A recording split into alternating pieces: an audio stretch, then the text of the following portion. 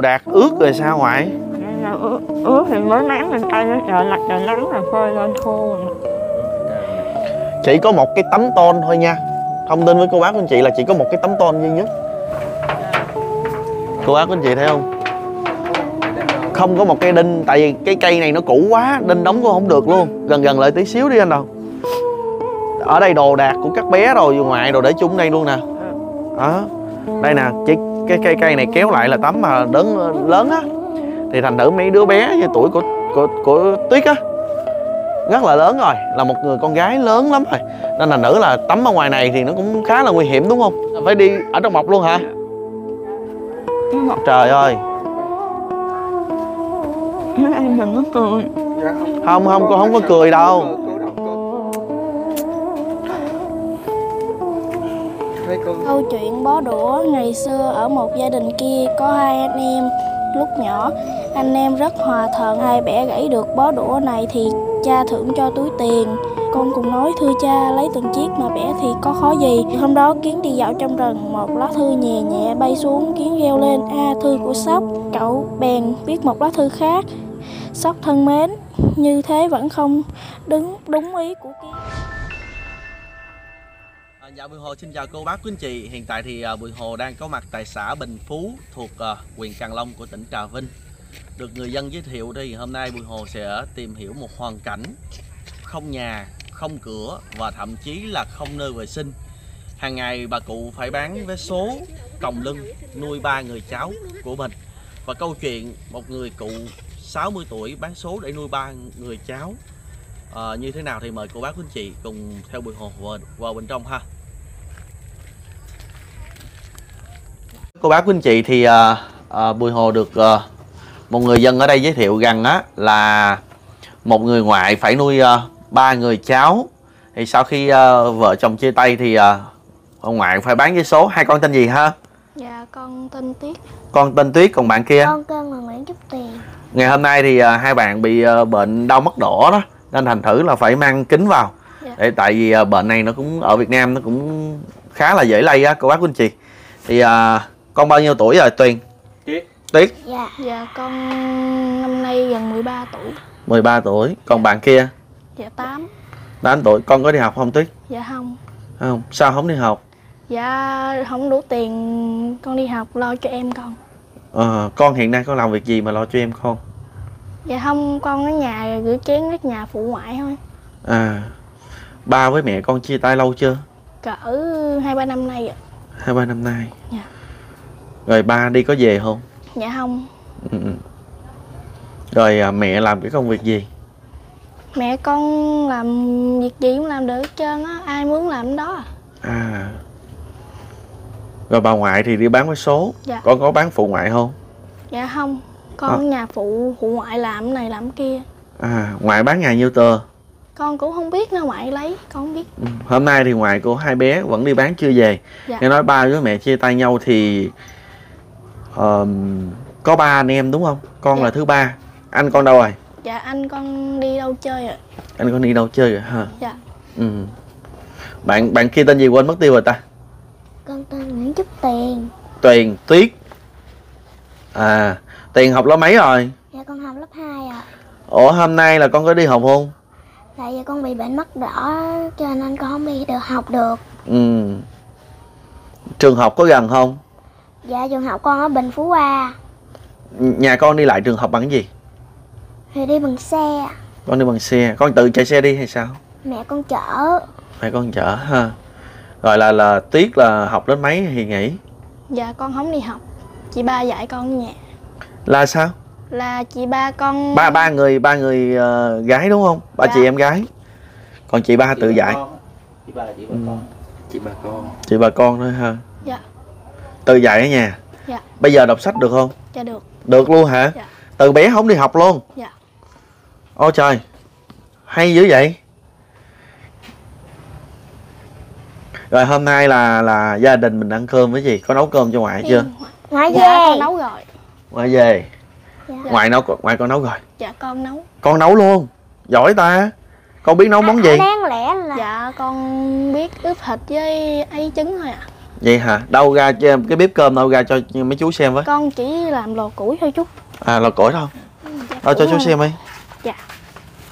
Ngoài này. À, ngày hôm nay á, thì à, ngoại của các bé á, cũng à, đi bán vé số về cũng khá là muộn. Củi này nè chú. Lò đâu đâu xích ra ngoài kia coi. Rồi mưa rồi sao nấu? Dạ tại con nấu hồi sáng rồi cho nên không có nấu nữa. Đâu đâu dở ra coi. Ôi trời ơi cái lò để ngoài này hả? Dạ hàng ngày con nấu ngoài này luôn hả con? Dạ nè. Trời ơi. Nấu hồi sáng rồi hả? Dạ. rồi mưa rồi sao nấu? Dạ mưa thì đợi mưa tạnh nấu. Vô đi cô. Mưa thì tạnh mới nấu hả? Dạ. trời ơi. Cái này là cái cái lúc trước là cái nhà hay sao mà sao chú thấy sao mà nó sập sệ vậy? Dạ đây lúc trước là cái nhà. Nhà mưa quá cho nên nó sập. Sập Dạ. rồi không có tiền cắt lại. Dạ. còn nhà đằng trước là ai cắt cho mình?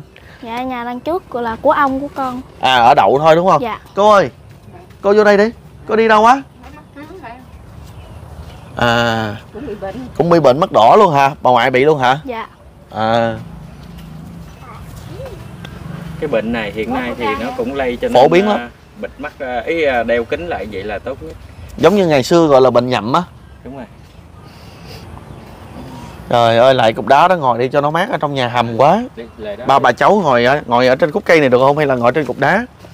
Ừm, bà bà ngồi trên cục đá đi hai hai cháu ngồi dưới. À, ngồi đây. À, bà ngồi À. trên cục đá đó đi. Rồi hai hai bé hai cháu ngồi dưới đi tiền với tuyết ngồi dưới. Trời ơi. Bà ngoại là năm nay là bao nhiêu? Dạ sáu chục. 60 tuổi hả để gắn cho miết cho bà ngoại nói chuyện lớn tí á. Bà ngoại 60 tuổi hả? Dạ. một ngày là bà ngoại bán được bao nhiêu vé số? Dạ một trăm ba mươi hai tờ. 132 tờ. Bán từ mấy giờ đến mấy giờ ngoại? Dạ à, nó lấy giấy giò rồi bán à, một lúc. Rồi về về ôm nước cho mấy đứa nhỏ tắm rửa cho mấy đứa nhỏ. Rồi sáng đi bán tiếp. Ví dụ mình hết sớm mình về sớm hết trễ mình về. Đi trễ bán bằng xe đạp. Dạ xe đạp ôm trước là bán vé số rồi con của ngoại là bé gái chị, chị gái là nuôi ba bé này luôn. Rồi à, bà bà có thằng trai nữa mà nó đi bắt ốc rồi. À cháu ngoại của bà đi bắt ốc rồi, thằng trai đi bắt ốc lớn hơn nhỏ này.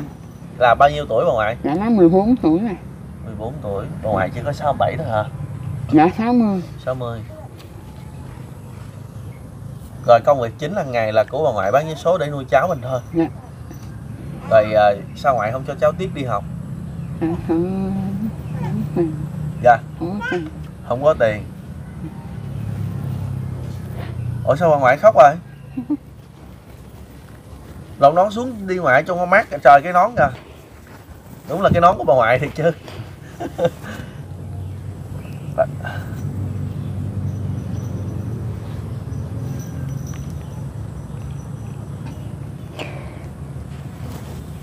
Không có tiền không anh? Ừ.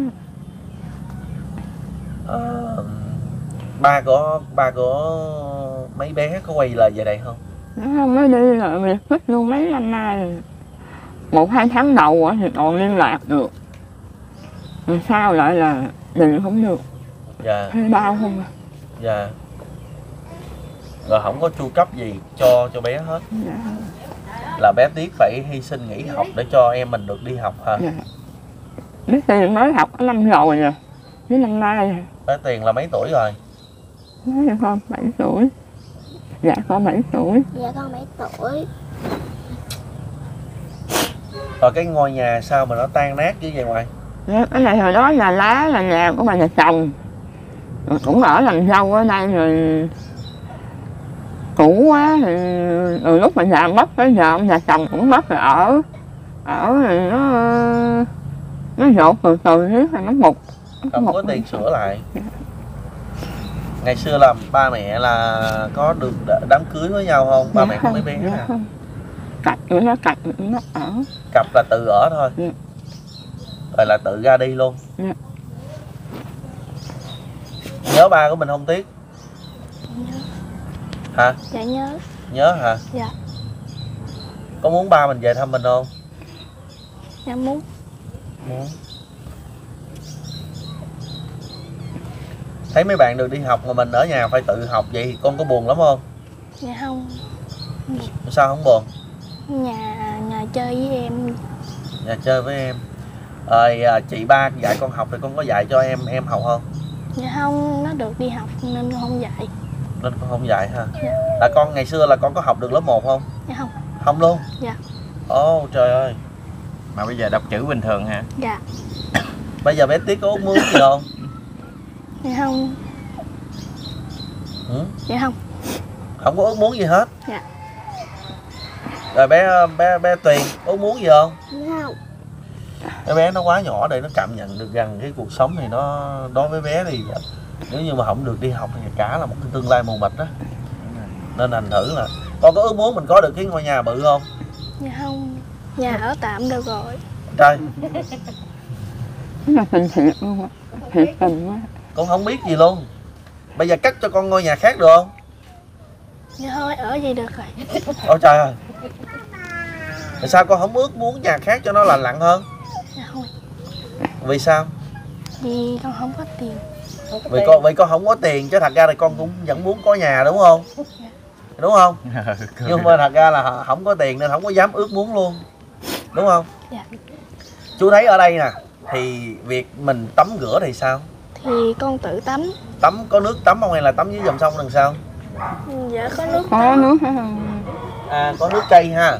Nước bơm ở dưới ờ, xã ở dưới ấp á. Dạ cho. Bà ngoại có ước muốn gì không? Ước muốn có sức khỏe mạnh giỏi với lại có được cái nhà cho mấy đứa nhỏ mà ở nhà nhỏ nhỏ cũng được. Có khi nào mà mưa quá rồi hổng ngày mưa quá rồi không có bán vé số được ở nhà không có gì ăn không? Dạ không cũng phải bán cũng phải dám đi bán dầm mưa đi bán. Dầm mưa luôn? Dạ dầm mưa ướt rồi nó khô khô nó ướt vậy hết thôi vậy nó đâu dám nghỉ không dám nghỉ một ngày luôn. Á. không dám nghỉ một ngày luôn? Dạ không. Ngoại, ngoại bán vé số được bao nhiêu năm rồi bán chắc ờ, tính ra chắc cũng được sáu bảy năm bảy năm gì nhưng mà có thời gian cũng nghỉ hết thời gian. Rồi nó đau hai cái đầu rối á nó nhức á. Dạ. rồi không có bán. Hiện nay thì ở miền tây á, cái việc bán vé số là gọi gần như là cái nguồn thu nhập chính cho những người hết tuổi lao động hoặc là những cô chú mà không may bị tật nguyền á cô bác cô chị. Thành nữ là cái việc đơn giản nhất là được mọi người yêu thương ủng hộ những cái tờ vé số như uh, trường hợp của ngoại của bé tiết với bé bé tiền như thế này nè. Bán đâu có dám nghĩ đâu. Bán rồi ăn uống làm sao ngoại? Ăn uống thì ờ, gạo thì cũng mua hàng ngày là có tháng này là có mấy cô mấy chú mấy anh mấy chị cho kiểu như là tháng 7 á cho ừ, không có mua. Tháng này là không có mua chỉ có mua đồ ăn thôi. Rồi mình nấu thì thì nước nhiều khi cũng thuốc uống này kia nói cũng không có đủ đâu em ơi. Nhưng mà Con thấy- con thấy là ngôi nhà của mình là một cái ngôi nhà được cất ừ, tiền tiền chế mà dạng như là nhà nước hỗ trợ đúng không? Dạ, cái là nhà này là nhà có ờ, nhà như bằng là tình thương á, à, là là ở đậu thôi. Nhà, nhà ở đậu thôi. còn Ừ, nhà cái nền của bà ngoại là nền nào? Nhà này. Hồi đó cái nhà với lại là cái nhà nhà nhà nhà, nhà bếp mà nó sạch hết rồi, quăng qua đó. là ở đây là cái không gian bếp Dạ. đây là coi coi như là nhà chính Dạ, cái này là nhà chính á, là nó sập hết rồi dạ nó sạch hết rồi. chỉ Dạ. còn lại trưa là trội là một cái khung sườn thôi đúng rồi nhà của cô sập bao nhiêu năm rồi Nhà mới đây thôi. vậy hả nhưng mà nếu hồi trước Nếu mà tính ra là cũng sạch, ừ, mình nói là sạch thì sạch mới đây thôi. Chứ còn mà nó rụng mấy cái này là cũng hơn năm rồi. là năm, hơn năm một năm trước là mình vẫn ở đây Dạ đúng rồi, hơn một năm rồi, mình được năm rồi mình vẫn ở đây. dạ. Ở đây bắt đầu dột quá mới những nỗi mới lên ở nhà của ờ, thằng em em chồng. Em chồng ha. Dạ. rồi những cái nhà này là mẹ chồng cho nó rồi mình không có à quyền. có nghĩa là bà, nói chung là ba bà cháu là là với lại là người con là không có không có con căn nhà luôn á. Dạ không có. Hồi đó là bà mất là ở đây. Bà cho cái nhà này ở là ở nhà lá thôi. Nhà lá thôi. Dạ, cột cây hai hai. hai hai hai hai hai cột này cột nút còn bốn bên là cây. Ôi trời có có nhiều người sao khổ như vậy trời? Thậm chí là đâu có ngôi nhà đâu. Không có nhà. Ở ké nhà của em chồng nha chứ không phải là em dạ ruột không nha. không phải em. Cái đây là tôi làm dâu mà. À, rồi thì hồi đó là mình đi vô nhà đi sao? Dạ, cũng đi cái đường đó đó. Có mặt đó bên hông đó. Đâu đâu để con coi kìa. Dạ.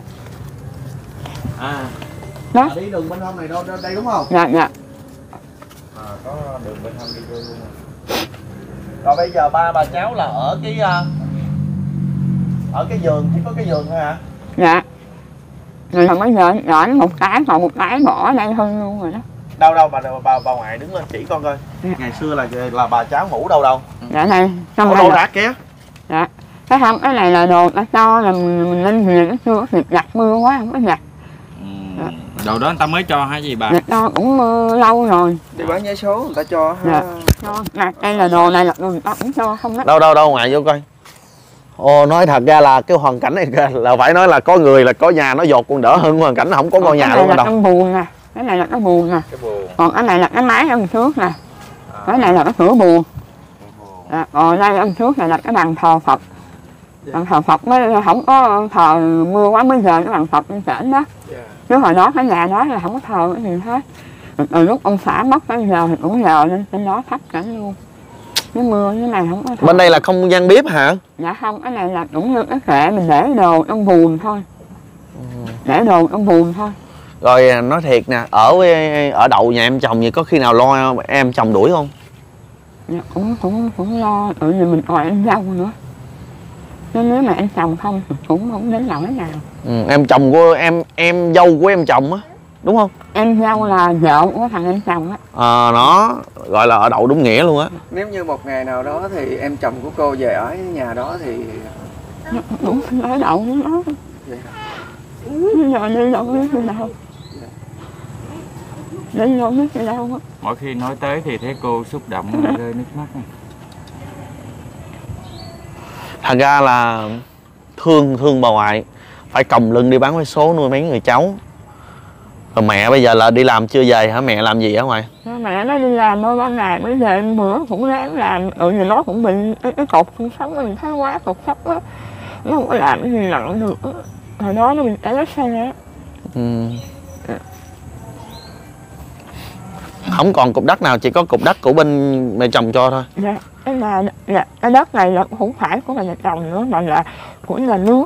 Người ta Ừ. thấy khổ quá. Là mà mà chồng ở là trước năm 75 rồi. Ừ. hồi đó là cái mặt trống ở đây nè. Rồi bây giờ nếu như câu hỏi này nếu như người ta cho mình cái cuốn nền cắt nhà tiền chế rồi ngoại rồi rồi cắt được không? Ở ngoài sau này cho ba bà cháu ở ngoài sau này. Dạ chắc chắc được mà ví dụ như trình bày với ách ách nói với xã xã Ừ. hôm bữa cũng ờ, mấy em ở ách nó nói thôi bây giờ chị ba xin ờ, ra ở riêng đi Ừ. chị ba ở chung rồi mai mốt thằng giỏi nó về rồi lỡ nó, nó xỉn sai rồi nó đuổi rồi mẹ con mà cháu không chỗ ở ừ. nó thể là nó đuổi làm hai ông ấy thì ông nghĩ nó nói chung là cũng khó lòng lắm Ừ. chứ đâu phải đơn giản đâu rồi ông nói thôi bây giờ nó, nếu không có tiền đó thì ông cho mấy người đốn mấy cây sạp á. Rồi kiếm tiền mua lá đi mà hỏi em ừ, mình bán lại có một trăm ba à? Mà mua lá thì tiền đâu mua? Mình ra không mình thôi bỏ qua luôn tới giờ luôn rồi nó sạch luôn. Rồi bây giờ bà qua bên kia thì con thấy cái nhà tắm nè trời cái nhà tắm gì đâu mà đáng thương ghê á nhà tắm nó dơ lắm quần áo quần lưng rồi. không không đứng ở ngoài thôi quay sơ sơ ở ngoài thôi cô bác cô chị tại vì nhà tắm là quần áo rồi chỉ có một cái miếng tôn thôi à trời có móc má vậy kìa rồi đồ đạc ướt rồi sao ngoại Nên là ướt, ướt thì mới máng lên tay trời lặt trời nắng là phơi lên khô rồi. nè. chỉ có một cái tấm tôn thôi nha thông tin với cô bác anh chị là chỉ có một cái tấm tôn duy nhất mà không đóng được một cái cây đinh lên kìa chứ anh anh một đồng cộng máy giùm em đi. Em phải quay xa ra mới được. Lý do là nó nhà tắm đồ đạc nó cũng lũ khủ á. Cô cô anh chị thấy không? Không có một cây đinh tại vì cái cây này nó cũ quá đinh đóng cũng không được luôn. Gần gần lại tí xíu đi anh đâu ở đây đồ đạc của các bé rồi ngoài đồ để chung đây luôn nè. Ừ. đó. Đây nè cái cái cây cây này kéo lại là tấm mà lớn lớn á thì thành thử mấy đứa bé như tuổi của của của tuyết á rất là lớn rồi là một người con gái lớn lắm rồi. Nên là nữ là tắm ở ngoài này thì nó cũng khá là nguy hiểm đúng không? Rồi. Nó sạch đó không? Ờ quỳnh. Rung rinh cả. Xin lỗi xin lỗi nha. Sập một cái là tối nay nghỉ tắm luôn. Nhưng mà con hỏi là cái nhà tắm này là xây hết nhiêu tiền? Dạ không biết hồi đó là thằng anh chồng nó làm nó không biết. Là cũng nhà tắm này ké luôn đúng không? Dạ cái đâu có chỗ nào nhà nhà tắm đâu. Dạ. rồi rửa là bên đây trời mưa là không có rửa chén được đúng không mày dạ đúng rồi. Trời ơi cô bác của anh chị thấy không? Đây là cái không gian rửa chén nha. Rồi cái tủ lạnh này ở cái máy giặt này là giặt đồ hay sao? Dạ nó hư rồi của anh chồng á. À hư rồi. Không có gì sao mà con con con nhận thấy là nó không có cái gì gọi là trọn diện hết trơn vậy trời rồi à, nấu cơm là ở đâu ngoài? Dạ nấu cơm thì cái cái nồi cơm điện á. Có nấu cơm điện thôi còn nấu đồ ăn thì ngoài đây. Dạ ngoài đó. Nấu cơm điện thôi nha mà anh đồng. Đây cái đây là cái không gian bếp nha. Tại vì cái nhà nó còn sập nữa chứ. đó là nấu uh, bếp uh, củi. Rồi sao lại không có nấu bếp củi. Cái này là mưa là nhịn ăn đồ ăn chỉ cơm không thôi rồi đó cái nồi đó đó. Cái đó là cũng đã cho đó chứ không có mua nữa. Thương ghê á Như vậy con thấy là nhà mình không có củi nè. Còn mỗi khi mưa ờ, củi ở đâu mình dạ nấu có có củi để mình hâm á lấy tấm con che lại. cái này là cái cánh cửa mình dạ á dạ cái cửa đó. Còn cái giường ở đằng đó là cái giường đó là ở trong đó đó. À. Bây giờ đem lên bây giờ con hỏi đặt nè nãy giờ con có tham quan con thấy nhà vệ sinh ở đâu? Dạ nhà vệ sinh trong đó đi đi đi nặng kìa dạ như nặng thành lấy bọc Lấy bọc hả? Dạ. Mấy bạn gái này là đi mấy bé này là phải đi ở trong bọc luôn hả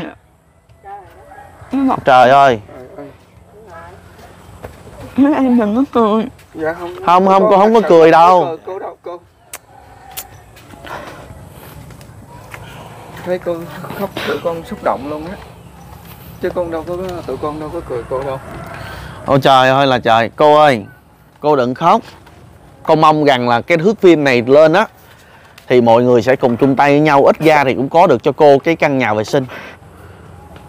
Cô nói là mấy em đừng cười, cô mắc cỡ. Đứa bé bên kia, tiếc nó mắc cỡ kìa. Nó biết mắc cỡ, nó nó nó nó lại ấy. Qua bên đây đi ngoài qua đây ngồi đi, qua đây ngồi đi. Đây đây gì đâu có xây được cái nhà vệ sinh đâu cái miếng ăn còn không đủ nói chi là cái nhà vệ sinh. Nói tới là bà, bà ngoại mũi lòng cầm lòng không đậu lo cho mình lo cho cháu. Hồi nãy ngoại nói á tiếc ơi nãy ngoại nói là không có nhà vệ sinh sao sao chú thấy con muốn khóc vậy? Chú thấy con bẽn lẽn đi đi ra chỗ khác rồi. Có đâu để cho mấy chú quay ngoại con. À, con thấy ngoại con khóc thì con buồn không? Buồn sao nói cho chú nghe thấy ngoại buồn cũng buồn. Hôm nay ngoại bán vé số là ba 130 tờ hả? 132 tờ. 132 tờ là được nhiêu? 132 nghìn. Đâu lấy ra coi coi cho con coi coi còn được nhiêu.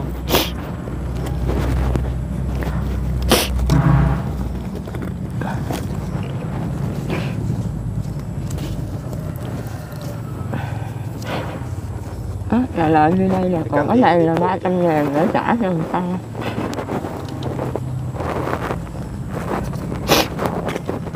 đâu con coi coi không ngại nhà còn dư tiền gì không? Dạ không cái này là 300 ngàn mượn hồi sáng là đặt vô lấy vé số mới. 400 anh này lấy rồi là một triệu uh, một triệu uh, một triệu ba trăm. Nhưng mà hai lấy hai chục ngàn. Ừ. thì lấy nó không tới là được 130 uh... ủa còn ngoài không có ăn hả? Dạ không cũng dám ăn gì hết. Sáng tới. ba trăm ngàn này là sao? Dạ mượn mượn người sáng lập vô là trả thì vé số mới số cũ người ta bây giờ vé số gối đầu hay là sao cô? dạ không giờ mấy bà cháu ở nhà còn được nhiêu tiền? Vé số thiếu là bỏ thiếu là tự mình ăn thanh á. Ăn thanh có mấy bà tiền cháu còn được nhiêu tiền? Dạ. Mấy bà cháu còn được nhiêu tiền? Nó thì lời là như đây nè. Là bữa nay không có mua đồ ăn á. Lời còn nguyên á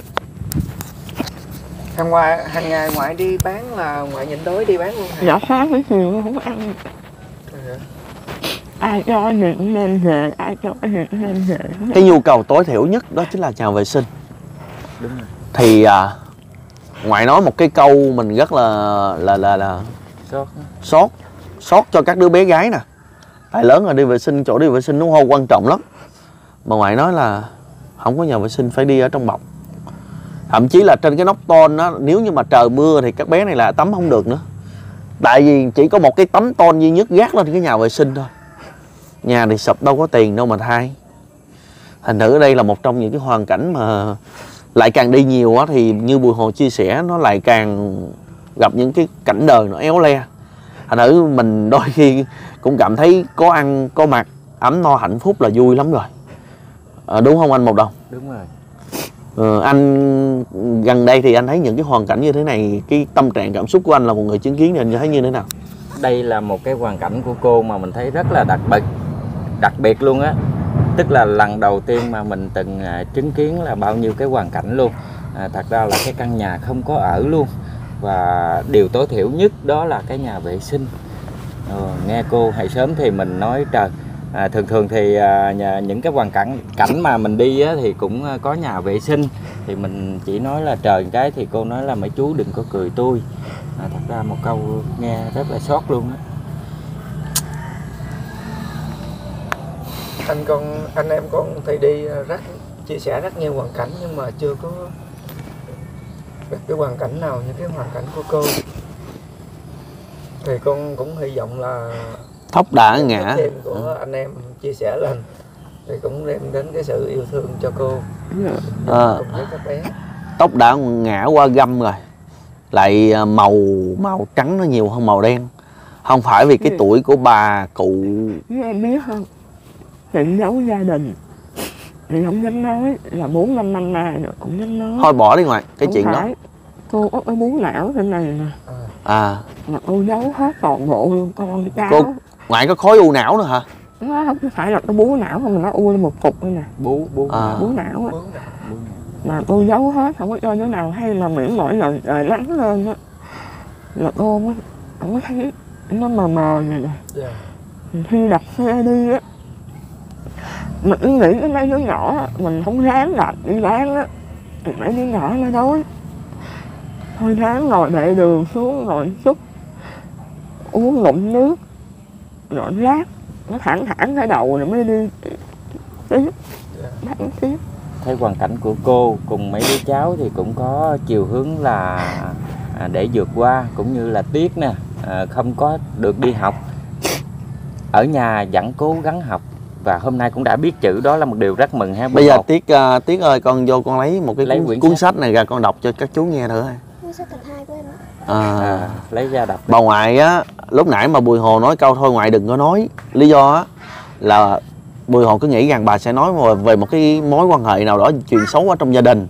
Nên bùi hồ kêu ngưng không có nói chuyện đó. Tuy nhiên bà ngoại nó có một cái chuyện xấu.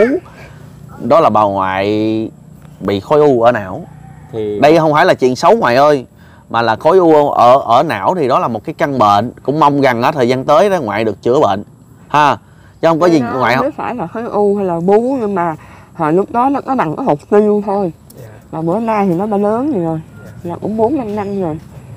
Cái hồi lúc ngoại đó muốn không cho con cháu biết để Dạ. con cháu lo sẵn trong cái việc mình này không thì để cho con cháu nó biết Dạ. luôn chứ giấu lâu lắm rồi không có dám nói. Nói thì sợ con mình nó cũng buồn cháu mình nó cũng buồn. Thôi âm thầm chịu Rồi bây giờ con đọc cái bài à, chữ A và những người bạn cho cô chú anh chị nghe ơi. Tôi là chữ A, từ lâu tôi đã nổi tiếng. Người nhắc đến tên tôi đã biết. Khi vui sướng quá người ta thường reo lên tên tôi. Khi ngạc nhiên sửng sốt người ta cũng gọi tên tôi. Tôi đứng đầu bảng chữ cái tiếng Việt trong bảng chữ cái của nhiều nước. Tôi cũng được người ta trân trọng xếp ở đầu hàng hàng năm. Cứ đến ngày khai trường rất nhiều trẻ em làm quen với tôi trước tiên. Trời, Giỏi quá. không từng đi học mà đọc chữ lẻ ghê rồi Đọc nhanh hơn anh Đồng hết trang khác. Đó, tại hồi sớm là em em em em mấy cái cái trang đó đó. Ờ, lấy cái trang khác nữa À, đọc bây giờ. được. Đọc một cái trang khác nữa cái trang ngẫu nhiên nha. Ngẫu nhiên nữa thôi nó thuộc lòng thôi Đây. Một giờ học Đúng là nói trước cả lớp thì chẳng hề dễ chút nào Lúc đầu quan còn ngượng chịu Nhưng nhờ thầy giáo và các Ngượng nghịu. Dạ con đeo kính đen con không thấy À. lắm Nhưng nhờ thầy giáo và các bạn động viên Quang đã tự tin hơn và nói một câu cách lưu loát. Ai rồi? Rồi quá giỏi quá giỏi. Quá chuẩn ha. À. có thuộc bài thơ nào không? Dạ không. Không. Không đi học. Thuộc luôn chưa từng đi học nhưng là mà lại biết đọc chữ là một điều gì đó rất là tuyệt vời. đi học cũng biết chữ luôn á. Ôi trời ơi. Nói chung là khi mà biết con chữ á thì nó sẽ dễ hơn so với việc không biết chữ. Mà chú chú không phục con á không đi học cũng biết chữ nữa ngày xưa chú chú đi ờ, đi dạy có những bạn dạy hoài cũng không biết chữ luôn. Xót quá. Ngoại bây giờ có muốn gì không? Dạ. Có muốn làm nhà vệ sinh lại không? Dạ có làm 50 triệu được không? Thôi nhiều quá thôi đừng làm vậy làm 5 triệu được không có một cái điều mình rất là mến gia đình của ngoại đó là các cháu cũng như là bà ngoại không có bao giờ có lòng tham hết á. Nhiều cũng được hết á. Chỉ có là được rồi. Nên là nữ thấy cũng rất là thương cô bác của anh chị. Ngày hôm nay là một buổi chiều muộn và cũng mưa. Cái không khí vào thời điểm này á, nó mát lạnh. Tuy nhiên ờ, nó mang một cái cảm giác gì nó hơi buồn buồn cho những người ờ, thường đi xa như tụi mình cái nỗi buồn đó nó không quan trọng bằng cái nỗi buồn mà của mấy bà cháu chịu đựng trong ngần ấy năm qua. Mưa nắng gió làm cái ngôi nhà là nơi tá túc. Mấy năm nay đã không còn nữa. Hiện nay chỉ còn là một mảnh đất trống và những cái cây á trơ trọi và cũ kỹ. Hôm nay đến đây á, được biết gia đình của ngoại cùng với bé Tuyền bé Tiết và còn thêm một người anh hàng ngày phải đi mò cua bắt ốc để kiếm tiền. Mình rất là khâm phục về cái nghị lực của bé Tiết một cô gái không đi học mà vẫn biết chữ. Không phục ngoại dù bán một ngày hơn 100 tờ vé số nhưng về số tiền đó dành dụm đủ để nuôi những người cháu của mình. Bé Tiết lại thương một cái nữa là không đi học không phải vì không muốn đi học mà muốn muốn đi học nhưng mà dành cái phần đi học đó cho em của mình. Đó thì hôm nay thì à, Bùi Hồ cùng với các anh em đang có mặt tại huyện Càng Long xã Bình Phú. Bình Phú huyện Càng Long của tỉnh Trà Vinh để chia sẻ đoạn clip này cho cô bác của anh chị biết thêm. Và ngày hôm nay được chị à, chị Trinh giới thiệu về hoàn cảnh của ngoại á. Thì con thay mặt cho à, chị Thanh ở Mỹ gửi cho ngoại 2 triệu. Tôi xin cảm ơn cô Thanh ở Mỹ đã dành phần tiền cho tôi sống để nuôi mấy đứa nhỏ á.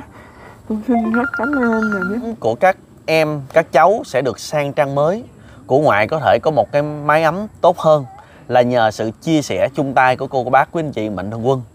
À, rất mong rằng à, sau thời gian tới thì à, bà sẽ ít ra thì có được một cái nhà vệ sinh mới có được một cái căn nhà tiền chế nhỏ nhỏ đặt hai chiếc giường vừa đủ để cho cả gia đình trú mưa trú nắng ha cô bác quý anh chị. Cũng mong là những duyên lành sẽ đến với bà. Còn hôm nay thì chắc có lẽ là Bùi Hồ cùng Út Đồng Tháp một đồng xin chân thành cảm ơn quý mạnh thường quân nhà hảo tâm cùng tất cả cô bác anh chị đã xem video clip đến thời điểm này. Chân thành cảm ơn chị Thanh ở Mỹ đã hỗ trợ một phần quà uh, thiết thực nhất cho hoàn cảnh cô cụ trong ngày hôm nay. Còn bây giờ xin chào và hẹn gặp lại.